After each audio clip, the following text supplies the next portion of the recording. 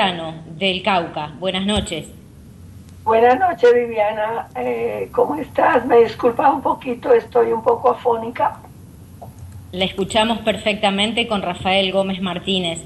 Lida, usted es eh, víctima directa de la FARC. Víctima de las FARC del año 2004. Eh, estábamos en la finca en el Tambo Cauca, al occidente de, de Popayán Estamos realizando proyectos para en beneficio de la comunidad, eh, proyectos orgánicos ayudando a los campesinos. Y la guerrilla, eh, director del hospital de, eh, del hospital de Santa María del Tambo, él es un jefe guerrillero y él nos, nos, nos mandó a llamar y nos trató mal y nos, nos dio segundos para abandonar la finca porque nos iban a matar y yo le pregunté cuál era la causa del desplazamiento, me decía de la, de la amenaza. Y le dije, ¿cuál es, cuál es el por qué nos están sacando si nosotros no estamos haciendo daño, estamos ayudando a los campesinos para una mejor calidad de vida? Y él, muy grosero, me gritó y me dijo que yo me estaba convirtiendo en una líder porque ayudaba mucho a los campesinos y que eso no lo aceptaba la, guerrilla, las FARC. Lida, buenas noches, le habla Rafael desde Bogotá. ¿Cómo se encuentra? Doctor, ¿cómo está? Pues afónica y preocupada porque por mi voz, primera vez que quedo afónica y no sé cuál es la causa, pero ahí sigo adelante, doctor, luchando con el problema de desplazamiento porque me han tratado muy mal. ¿Y en dónde se encuentra usted en estos momentos, si se puede saber? Bogotá, doctor. Ok. Eh, ¿Usted a qué profesión se dedica en este momento? Doctor, en este momento pues estoy, estoy programando con otro tenor unos conciertos eh, y vamos a grabar unos CDs para apoyar a las víctimas, los soldados las, eh, que están mutilados, víctimas por los mm, guerrilleros narcotraficantes y criminales de las FARC. Eh, ya vi por qué se quedó sin voz, porque está ensayando para las grabaciones. Eh, estaba ensayando, pero, pero tuve que suspender porque tal vez fue un resfrío y eso me preocupa, me afecte. ¿Y su tono de voz es como su apellido, de soprano? Soprano, no, es que me, pusieron soprano ahí, eh, un mi nieto, eh, soprano lírica. Ok. Eh, Lida, Cuéntame, ¿cuál es? Eh, a mí llámeme Rafael Lida. Eh, no me ponga epítetos anteriores, que eso lo único que sirve es para fomentar el ego. Eh, el tema es el siguiente. ¿Cuál es el sentimiento suyo en este momento, Lida, con respecto a lo que está sucediendo en el proceso de paz de La Habana? Doctor, le voy a hablar muy claramente y precisamente he estado por escribir un libro, pero cuando esté fuera de Colombia. Eh, yo no creo en ese proceso de paz. Yo lo supe en el 2004, allá en el campo. Eh, me comentaron todo lo que iba a suceder y lo que está sucediendo es lo que me contaron. Lo sabía yo, pero yo nunca creí de que eh, el país iba a ser entregado a la, a la narcoguerrilla y al gobierno de Chávez, que en ese momento estaba vivo, que iba a ser manejado por el gobierno venezolano, que Colombia iba a ser parte de Venezuela. Y yo no creí, doctor, y mire, se está presentando todo tal como lo supe en esa época. Y me duele, no creo, es una farsa, es una patraña de Santos, el traidor, no entiendo este hombre por qué no aterriza, por qué no piensa y por qué no analiza el mal que le está haciendo a Colombia y a todos los colombianos. Él está destruyendo nuestro país. Hay miles y miles de víctimas de todos los departamentos, pero los están ocultando la mayoría. En este momento, yo estuve en Popayán la semana pasada y me di cuenta que llegaron 100 campesinos mutilados del Cauca a, a, a pedir ayuda. Eso no lo cuentan. Si son 100 en, el Cauca, ¿cuántos hay en todo el país campesinos mutilados que salen a su, a, su parcela, a su tierrita, a trabajar con su esposa o sus hijos y, y, todo está sembrado de niñas. No hay derecho a eso. Que Santos ignore. Hay tantos desplazados, hay tantos mutilados, tantos secuestrados, desaparecidos y Santos no se pronuncia para nada. Él ignora el dolor de todas las víctimas que fuimos desplazados, humillados. Es decir, esto, no, no puede ser posible. El día del Foro Nacional de Víctimas, yo estuve ahí colaborando y hablaba con los padres que ya están ancianos, papá, mamá, fue, y me, me mostraban las fotos de sus hijos desaparecidos. Y ellos me decían, queremos que nos digan dónde están los huesitos. Esa palabra me dolió tanto. Y me, decían, queremos abrazar a que sean los huesitos de nuestros hijos, de nuestros esposos. No hay derecho a eso, Rafael, no hay derecho que Colombia cada día está, va, va, va por mal camino, estamos mal. A los, a los desplazados nos tratan mal ¿Por qué razón? Porque en, los puntos de atención a las víctimas hay infiltrados de las FARC. Yo presenté la declaración en el 2004 en la UAO, en la que correspondía a la alcaldía de Popayán. Rendí toda la información ante una abogada que era de Defensoría del Pueblo, que el segundo apellido es Astudillo, y ella me maltrató, me humilló y yo llorando le dije, doctora, es que para ser desplazado se necesita venir aquí con la ropa rota, sucia, sin zapatos, oliendo feo. Te recuerdo que desplazados somos de todos los niveles sociales. Y tiempo después, a los tres meses, fui a reclamar la copia de la declaración de desplazamiento de mi esposo y mío y me dijeron que habían enviado ese, esa copia esa declaración a Familias en Acción. Y me fui a Familias en Acción y me encuentro la sorpresa tan grande y dolorosa, Rafael, que ahí estaba trabajando uno que fue alcalde de Tambo, del grupo, del médico, que, que jefe guerrillero que nos, nos sacó. Y, él, me, me, preguntó qué que, que, que, necesitaba, que me podía ayudar, pero yo desde que lo vi ya me sentí perdida. Y le dije, vengo a pedir mi copia de declaración de desplazamiento, la de mi esposo y la mía. Y cuál tal sorpresa que tuve en ese momento es que él se sentó al computador y duró mucho tiempo tratando de buscarme supuestamente. Y después me dice, no, no aparece su declaración. Es decir, él me la, me la, me la, me la desapareció. Y volví a la UAO y me dijeron, no, allá está su Es decir, nunca me la quisieron entregar. Ahora yo tengo un problema, mi esposo falleció y Colpatria me tiene demandada y embargo el apartamento, que lo único que tenemos que la finca perdimos todo, nosotros que nos quedamos sin dinero. Mi esposo se va a trabajar, él era ingeniero civil, se enfermó y en 15 días falleció por un cáncer pero entonces eh, Colpatria no quiere pagar el apartamento, eh, reconocer el seguro de vida que amparaba la deuda. Entonces me embargaron y es una revictimización que me están haciendo. Y allí en el Foro Nacional muchas víctimas hablaron de, la, de lo mismo, que les están quitando sus propiedades porque los bancos no les quieren reconocer seguros. Y entonces eh, hablé ese día en el foro, estaba el señor procurador él nos escuchó a las víctimas revictimizadas y, nos ofreció acompañamiento y así es.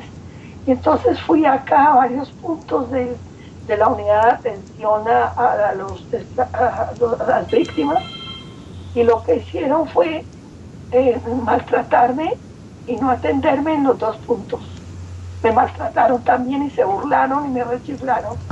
Entonces me fui para Popayana a solicitarla y también en el punto de atención a las víctimas me, mandaron a donde una abogada que, estaba atendiendo ahí y la abogada me maltrató, fue grosera y me tiró el papel.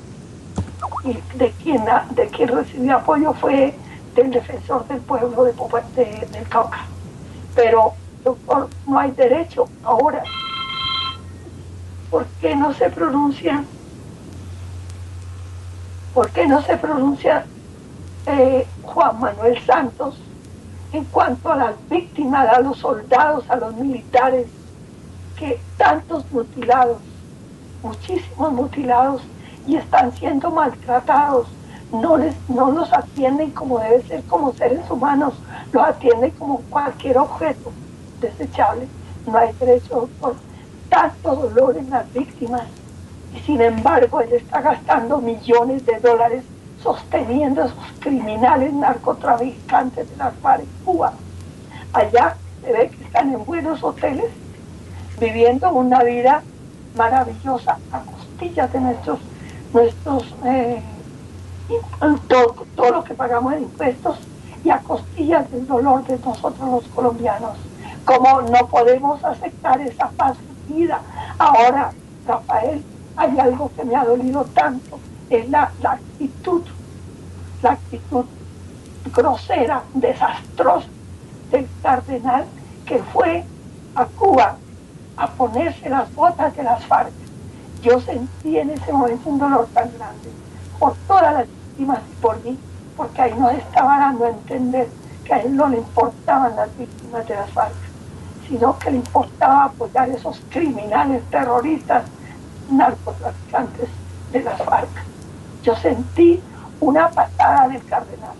No hay derecho que se ponga las botas en vez de estar en Colombia dirigiendo, construyendo albergues para las víctimas que salen corriendo de, sus tierras y no tienen ni a dónde dormir ni qué comer, ni, tienen, un, ni tienen un futuro seguro.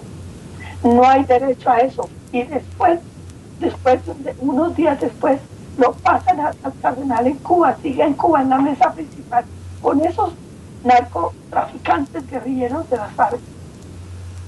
Lo pasan al cardenal allí mirando lo que estaban haciendo. Hay una brujería, vudú o santería, pero no hay derecho que nos pisoteen a los colombianos de esa manera.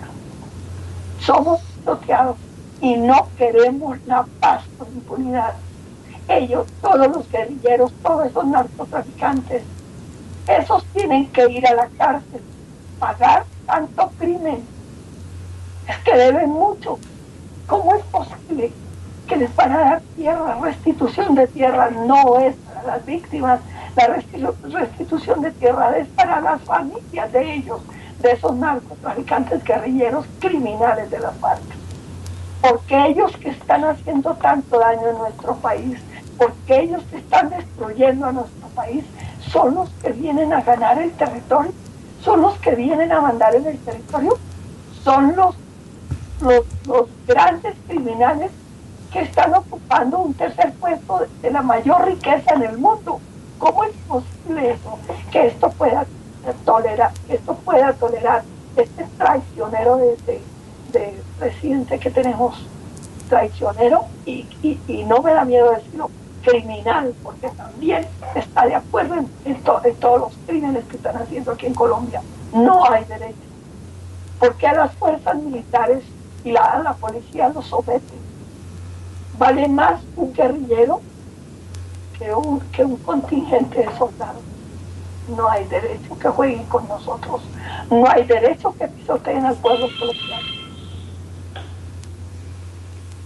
Eh, pues eh, si algo le, le puede servir el día de hoy es para desahogarse de, de tanto dolor que usted tiene en su alma y cuente con este humilde servidor eh, en materia de acompañamiento y de desahogo. Eh, si me quieren buscar por las redes sociales, me pueden encontrar en mi perfil de Face y ahí con mucho gusto estaré dispuesto a ayudar en lo que esté a mi alcance. Pero su historia me llena de, de dolor y de tristeza. Usted me dice que hay más de 100 campesinos mutilados por las minas quiebrapatas. Sí, allá, allá, en Popayán.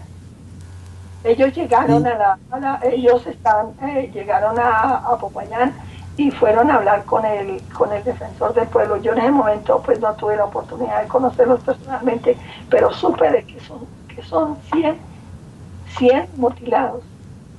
¿Y eso fue cuándo? ¿Eso fue cuándo? Hace una semana, doctor. Una semana. Rafael, mire, ¿cómo es posible? Si eso es en el Cauca, ¿qué esperamos del resto del país? ¿Cuántos hay?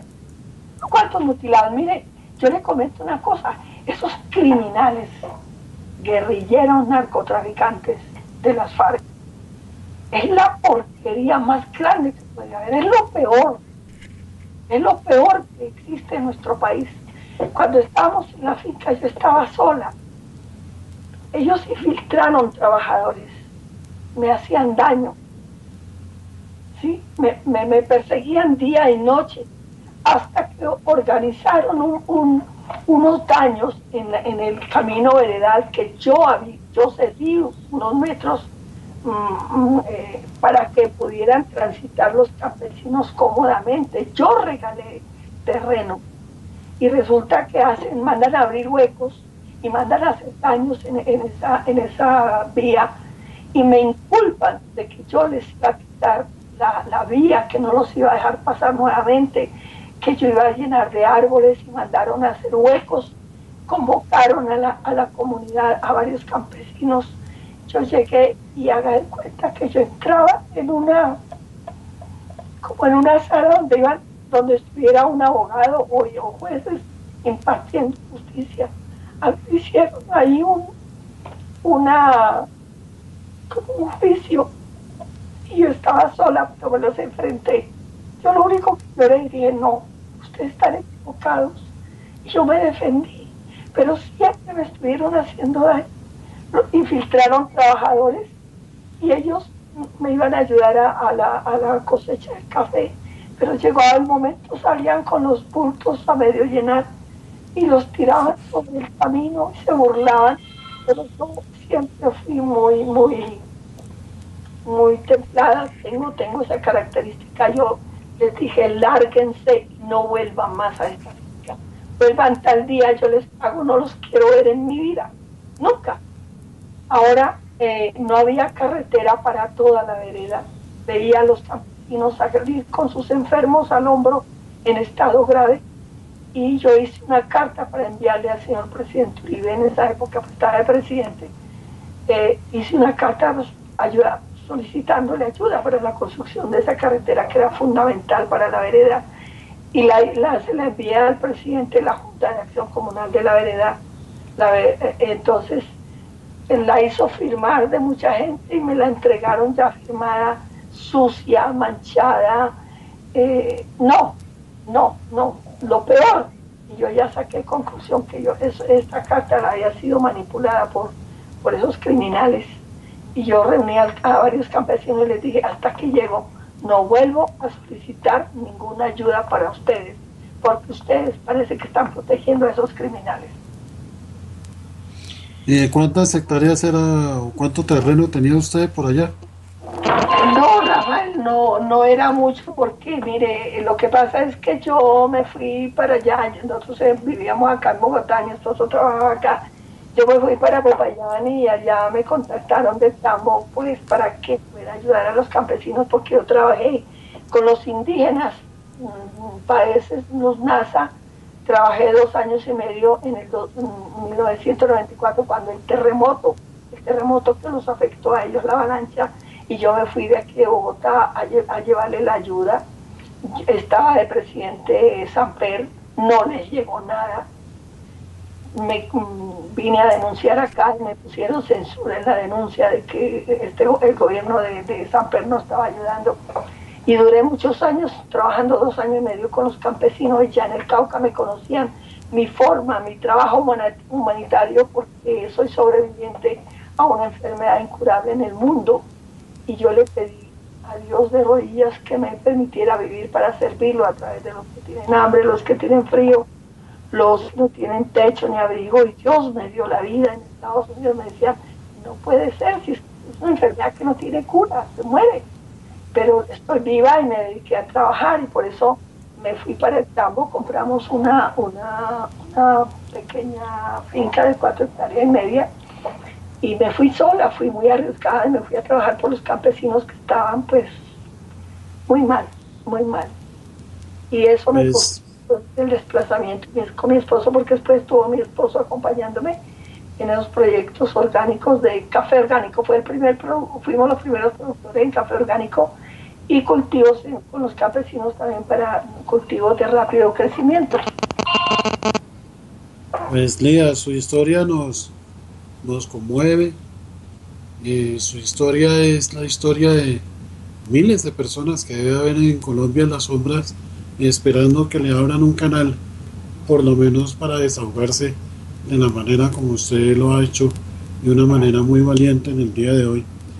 Y si usted desea participar en la marcha, con su sola asistencia ya estaremos comenzando a despertar las conciencias de esta sociedad anestesiada por cuenta de todo lo que nos está sucediendo en La Habana. Eh, desde, desde acá le mando un abrazo solidario. Gracias. Y si, algo le pudo servir el programa para desahogar y botar la pepa, pues Viviana, tendremos que abrir un programa para terapéutico para desahogo. Sí, no, está muy bien. Yo, eh, bueno, no soy de Colombia, así que nunca había tenido ocasión de escuchar de boca de un desplazado todo, todas sus vivencias y la verdad es que estoy muy conmovida. Eh, me repetí a mí misma, Dios mío, Dios mío, por lo que estaba contando Lida y la verdad es que hay un, me surge un sentimiento de, muchísimo dolor, eh, pero además personalmente sentir un sentimiento de, vergüenza de todos los latinoamericanos. Siento vergüenza por el presidente Mujica, por los presidentes de la región, que no hacen más que apoyar a, las FARC. Así que eh, ese es el sentimiento que le, quiero transmitir a Lida y, también sé de su dolor, pero también de su fortaleza y, que siga adelante. Lida, eh, muchísimas gracias por estar con nosotros. Gracias Viviana, quiero agregarle algo. Gracias por su apoyo y de verdad es doloroso. Yo me he puesto a analizar ¿Por qué Latinoamérica no nos apoya a la gente decente, a la gente honesta y a la gente de bien? ¿Por qué están en silencio? ¿Por qué están agachados? Yo eh, conocí, eh, estuve en Montevideo hace unos años como representante a un encuentro de familias por la paz, representante por Colombia, sí, de familias por la paz, y, me pareció bellísimo, es un país hermoso, pero necesitamos el apoyo de todo el, el pueblo latinoamericano el apoyo de Estados Unidos. Eh, Rafael, gracias por su invitación a la marcha. Yo viajo el sábado para Estados Unidos y ya me contacté con mi hija que allá en Clifford Texas, eh, hay colombianos y vamos a ver cómo nos contactamos para reunirnos, eh, aunque sea en una esquina, ¿sí? En una esquina del 13 de diciembre en la marcha para hacer sentir, para, hacer, para que conozca el mundo lo contrario de lo que está diciendo Santos estamos padeciendo, nosotros quedamos, Rafael y Viviana, perdóneme que hable un poquito más, pero cuando nosotros, a mí me perseguían día y noche, yo estaba sola en la finca, yo sentía que caminaba alrededor de la, de la casa y lo único que yo me tapaba la boca y respiraba lentamente y decía, Señor, Señor, estoy en tus manos, estoy sirviéndote, no permitas que me hagan daño. Y luego, pues con mi esposo, la, la persecución a los dos fue infame, porque fue canalla, muy terrible esto que nosotros padecimos. Y llegamos, salimos de allá a la carrera como nosotros fuéramos los criminales, corriendo. Nos protegió el Gaula y llegamos a Bogotá pues, sin nada, sin nada. No teníamos dinero, no teníamos que comer. En nada quedaba en el aire, hasta que mi esposo pudo conseguir trabajo. Pero yo quisiera, yo que cuánto quisiera que en Estados Unidos, el gobierno de Estados Unidos, se, se entere de la realidad que estamos viviendo, que no nos ignore. Necesitamos la ayuda del mundo, necesitamos, no podemos permitir que Colombia se, se siga convirtiendo en el mayor productor de droga, que es lo que las FARC quieren de este país, destruirnos a la gente de bien para entrar a ellos a hacer los grandes productores de la droga. Muchísimas gracias, Lida. Un, un fuerte abrazo entonces. Gracias, gracias. Lo mismo. Y Rafael, muchas gracias. No, señora, desde Estados Unidos con la, con la participación de gente allá, eh, envíen registros fotográficos, así sean eh, la familia del perro y el gato, no importa. Lo importante es participar. Sí, así lo haremos, si Dios quiere. Ok, Lida, un abrazo en la distancia. Gracias, gracias para ustedes también. Gracias por permitirme de, de hablar la verdad. Y hay mucho que, de qué hablar todavía. Muchas Un fuerte abrazo a todos. gracias, gracias.